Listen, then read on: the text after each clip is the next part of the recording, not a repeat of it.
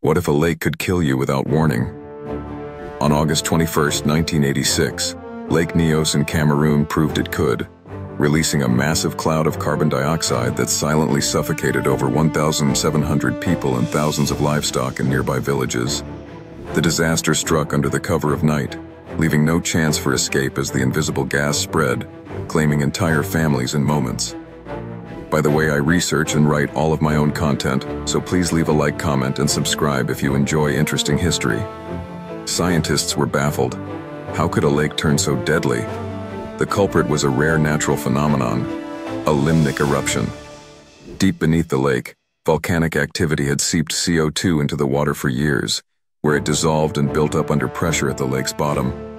A landslide, possibly triggered by seismic tremors or heavy rains, disturbed the stratified layers, unleashing the gas in a catastrophic cloud.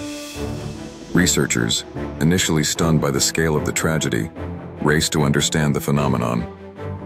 Today, degassing pipes vent CO2 from Lake Nyos's depths, a critical safeguard against another disaster.